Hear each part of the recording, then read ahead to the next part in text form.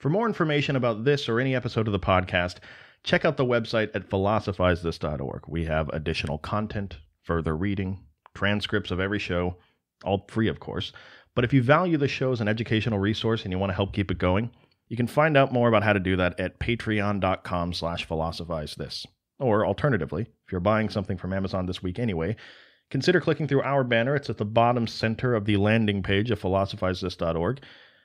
Small percentage goes back to the show. It may just be a click for you, but every little bit adds up. Thank you for wanting to know more today than you did yesterday, and I hope you love the show.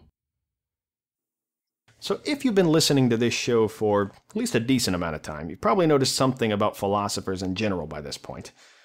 These people just love their thought experiments, don't they? thought experiments are an important part of philosophy. See, as you know, philosophy oftentimes tries to get us to think about ourselves and the world in a slightly different way than we typically would. The goal being that hopefully, after doing these things, we can hack past the the absolute jungle of social conventions and prejudices and all these things that have been meticulously programmed into us since birth to hopefully get a more honest depiction of reality.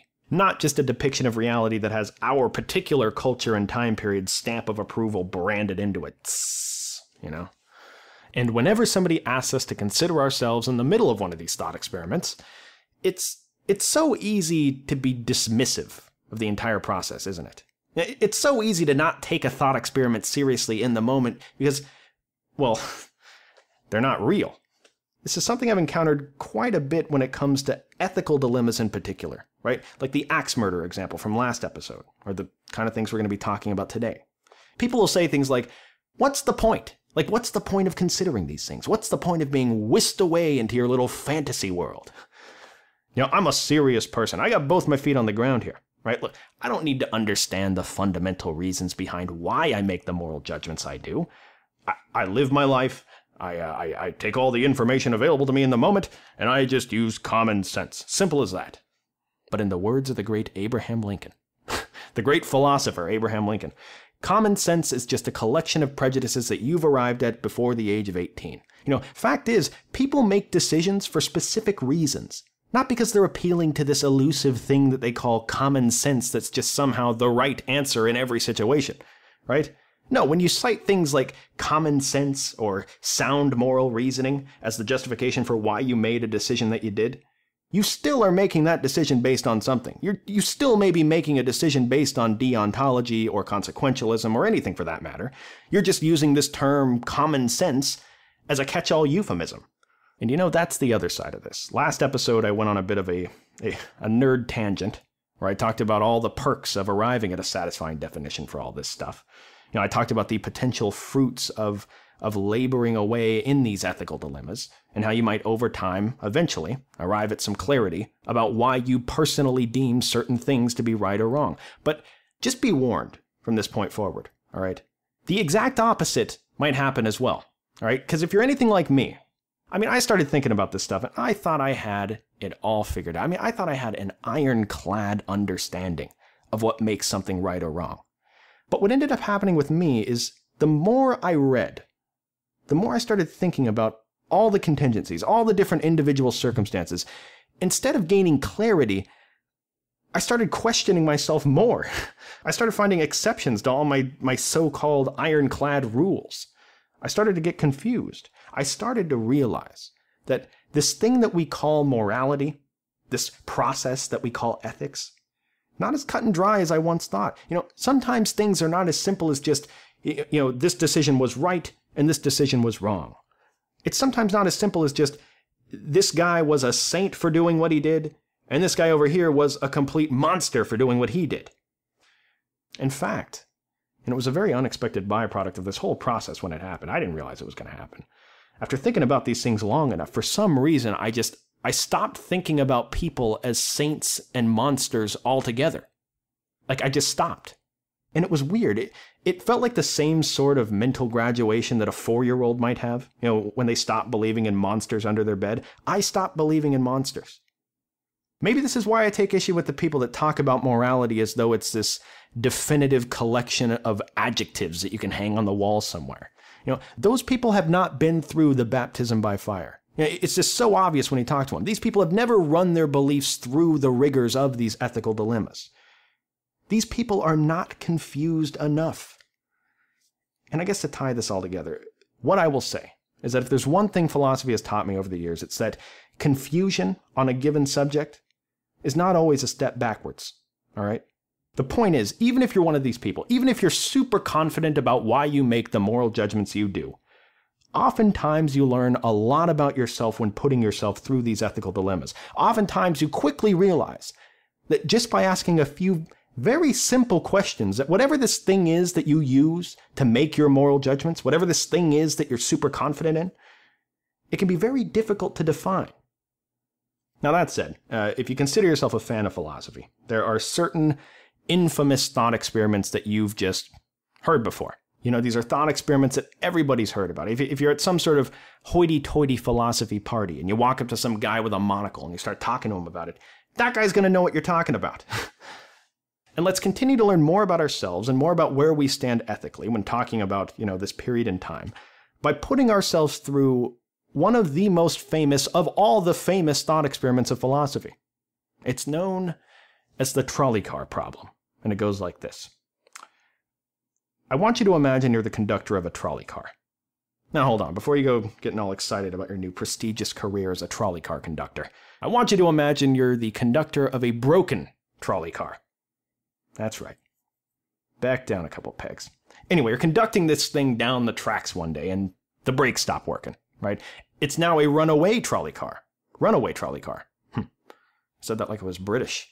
Now, to make matters worse, when you're in this broken, brakeless trolley car, you look ahead of you a few hundred feet, and to your horror, you see five people standing on the tracks, completely unaware that this runaway trolley car is hurling towards them at 60 miles an hour. It, in the moment, it seems like there's nothing you can do. You, you can't stop the trolley car. It has no brakes. It seems like no matter what you do, it's going to run into the five people. It will kill them all, most certainly. What a horrible tragedy it will be. But then you realize something.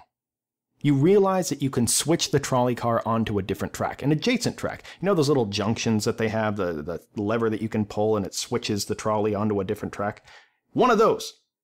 But just as soon as you realize that you can switch tracks and save these five people, you realize that on that new track that you're about to switch to is just one person who is also completely unaware of what's going on, and they will inevitably get turned into a trolley pancake if you so decide to switch the tracks. What do you do? What do you do? Do you allow the trolley to kill the five people? Or do you switch the tracks, pull the lever, and opt to kill just one person? What decision would you make in that moment? And look, just for the record, I, given the audience of this show, just given who's listening to this right now, I have full confidence that you guys came up with some sort of diabolical plan where you don't got to kill anyone here. But if we're just talking statistically, the layman, statistically speaking, most people say that in this moment, what they would do is they would pull the lever, switch the tracks, and favor killing the one person over the five. And this is totally understandable, right? In fact, come to think of it, I, I think I can get on board with that. In fact, I would pull that lever. You guys, I am not confused about morality anymore. I'm not afraid anymore. I mean, after all, one person dying is a much better outcome than five people dying, right? I mean, to me, this seems really straightforward. If you had the opportunity to, why wouldn't you save the five? I'm sure you remember from last episode. What I'm doing here is I'm looking at the situation through the eyes of a consequentialist. Uh, and if you want to go a step further than that, I might be looking at this through the eyes of a utilitarian. Utilitarianism is a specific type of consequentialism developed by a guy named Jeremy Bentham, refined by a guy named John Stuart Mill. But the, the fundamental idea at its core is something that we've talked about on this podcast, going all the way back to the Hellenistic period with the Epicureans, right? The idea being that what is right or what is good is always the action, where the consequences of that action maximizes utility. Hence the name utilitarianism. What is utility? you may ask. Well, utility can be a lot of different things. It can be, you know, emotional well-being, it could be economic well-being, it could be the limitation of suffering. But most of the time people just define it as pleasure. This is a very simple idea that on the surface sounds absolutely incredible. I mean, Jeremy Bentham looked at nature around him, much like the Epicureans did, and he realized that, you know, nature has placed mankind under the governance of two sovereign masters, pain and pleasure. That's the uh, That's the famous line by him. Anyway, human action can be distilled down into two things an avoidance of pain and the pursuit of pleasure. To a utilitarian, the right decision in any situation is just the one where the consequences ensure the greatest amount of utility to the greatest number of people. The right thing to do is the thing that maximizes happiness for the greatest number of people. So, back to the trolley car example. Sounds like I'm a utilitarian now. After all, it seems very straightforward what the right decision is here. I would pull the lever, kill the one person in favor of killing the five people. If we're judging the right or wrong decision in terms of it bringing the greatest utility to the greatest number of people, then killing one to save five, I mean, that's as easy as it gets. That's a no brainer. Man, I gotta be honest with you guys. It, it feels good to be confident in like why you're making moral decisions. I can see why this is addictive. It feels great. I, can I just tell you guys something? It feels great to just be able to pull levers and kill people with impunity. But as great as this feels, my, cruel mistress philosophy, it, it always manages to throw a monkey wrench in the equation, right? That's not where the trolley car problem ends. At that point, the trolley car takes a turn, no pun intended, and it asks you to consider a slightly different scenario than the first one, right? This time, Imagine you're still in the general vicinity of the trolley tracks, but now you're up on a bridge. A bridge that overlooks the tracks, right? So now you're an observer. Now, while looking down and observing the train track area, you notice a very similar situation to the first one unfolding, except this time there's only one track. There's five oblivious people standing on the train tracks, not paying attention, a couple hundred feet away from a runaway trolley hurling towards them, and it seems like in the moment there's nothing you can do to save these people from certain death when all of a sudden you look over to your right and you notice something. There's a fat guy standing next to you, leaning over the side of the bridge, trying to get a look at what's going on below, much like you are. Uh, now, I realize this may seem slightly ridiculous, but in the thought experiment, we're supposed to imagine that this guy is not just your run of the mill, you know, garden variety fat guy. This guy's grotesquely fat. So fat that you could push him over the side of the bridge, and when he hit the ground and died, uh, it would create some sort of shockwave situation where the five people would be alerted to his presence. They would see the train coming. They would jump off the tracks. His sheer girth would slow down the train long enough to make sure that all of them got out of the way. Either way, you kill one person to save five. What do you do? Do you push the guy over the bridge to save the five innocent people? Well, I gotta be honest with you guys. Like, right now, I'm not having too much fun going through the whole process of this thought experiment. I mean, I'm not sure how aware of my situation you guys are, but I just converted to utilitarianism recently, and uh, I'm having a little bit of a crisis of faith right now. Um, see, as a good utilitarian, if I'm just looking at the consequences of my actions and whether they bring the greatest amount of utility to the greatest number of people, well, the answer seems to be very cut and dry here. I, I need to push my new sizable friend over the bridge, kill him inevitably, but save the five. But it just feels wrong to me for some reason. Now, statistically speaking, most people, after being advocates of pulling the lever in the first scenario, would never even think about pushing the fat guy over the bridge. And I think I seem to fall into the same category here. Like, why do I feel different about this scenario than the first one? What really is the difference between the two situations? Now, obviously, there are differences between the two. I mean, you wouldn't be able to ask what's the difference between these two things if there weren't actually differences between those two things. Kind of confusing whenever people say, what's the difference between these two? Anyway, in both cases, your behavior remains remarkably similar. You are actively sentencing one innocent person to death in the name of saving five innocent people. Now here, it's, it's very tempting to give all sorts of rebuttals, right? Yeah, I was down for pulling the lever before. Before, when my actions only involved people who were already on the tracks to begin with. Ah, that's what's different. You know, these people were in harm's way. To push the guy over the bridge is to bring an innocent bystander into harm's way. How could I ever do that just to save five people? That's not fair to him. But is that true? In the original example, was the one person that you opted to kill by pulling the lever in harm's way before you pulled the lever? They had no reason to assume the train would take some unexpected diversion at the last second onto their track that was otherwise completely safe. They were completely out of harm's way until you decided to pull the lever and put them into harm's way. If it weren't for your decision to pull the lever, that track was equally as benign as standing on a bridge overlooking the tracks. Now, another rebuttal might be Well, pushing someone over the side of a bridge is much, much different than merely pulling a lever. In one case, you're just pulling a lever and something happens after you pull that lever.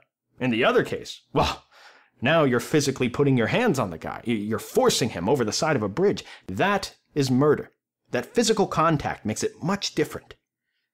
But is it really the physical contact that makes it different? I would argue that it's not. I mean, what if instead of pushing the guy over the side, you could do something else, right? Like, what if you could pull a lever and uh, the fat man would be launched out of some sort of medieval trebuchet and he would land on the tracks and the same exact thing would happen? Would you feel morally justified to do that? Personally, I wouldn't, and I think if this illustrates anything, and the point of this, is that there must be something else at work here. Something other than just the physical contact that makes us think that this action is wrong and the other one is right. I think most people would say that regardless of the consequences, there's something unique about pushing the fat guy over the bridge that's just wrong, something that isn't present in the lever pulling example. Now, the really fascinating thing here that we should all take from this is not that, you know, we make different decisions given different individual situations. That's obvious. The interesting thing is that at the beginning of this thought experiment, I started out pretty darn confident, didn't I? Pretty confident in my decision making about pulling that lever. I cited very clear reasons for why what I did was perfectly okay in that situation. And then with just a few minor tweaks to the circumstances, all of a sudden, I started to revise my entire moral foundation. I started giving different reasons, which either makes me ignorant, a liar, a hypocrite, or more likely, it implies that the reason I gave for why I made the first decision to pull the lever was not the real reason why I did it. There's something more complicated at work here. What is that thing? There have been many attempts to answer this question over the years. As we talked about last time, a deontologist would say that regardless of what the consequences of our actions will be, or in this case, inaction, although the consequences are bad, some things are just wrong. Like, for instance, pushing an innocent fat guy over the side of a bridge. Look, let's get one thing clear.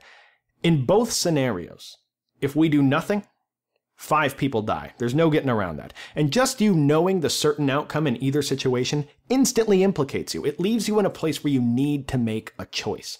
Doing nothing in these cases does not absolve you from any guilt. Consequentialists would say that the ends justify the means, but a deontologist, someone like Immanuel Kant, would say that you should never use people as a means to some end. When you push the innocent fat man over the side of a bridge to save the five people, you are using that guy as a means to some end that you aim to achieve, and that is wrong. Immanuel Kant talks about the ideal society that we could live in as what he calls a, a kingdom of ends, where every person is viewed not as a means to some end, or a pawn in someone else's game that they're playing where they can say, oh, this guy's just a means to an end. Every person is an end in themselves, as Kant says. Now, we'll talk in a second more fully about uh, why this point that Kant's making here is important. But first, let's talk about how Kant may have responded here, right?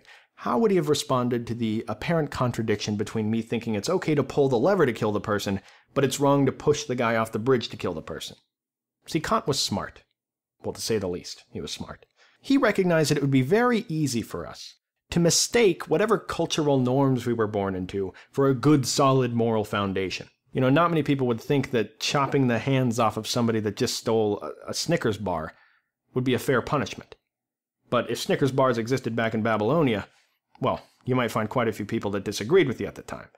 So, to circumvent this transient, subjective moral trap that we might otherwise fall into, as we talked about last episode, Kant thinks that just like our objective conception of reality itself is based on a priori concepts of reason, our morals too can be based on a priori concepts of reason.